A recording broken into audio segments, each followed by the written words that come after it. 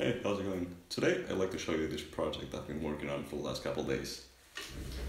Now, this is basically an image recognition program which allows you to play the video game CSGO by importing your real life movements into the video game itself.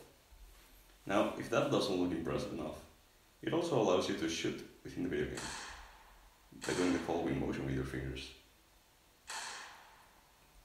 Now, it's a bit hard to get the grasp of it, but once you do, it's it's great.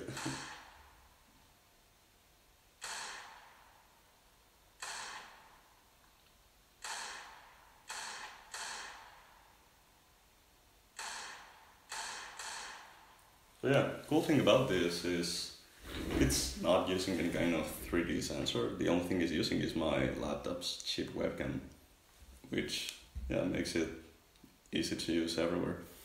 And as always, the source code is in the description. And thank you for watching. Bye.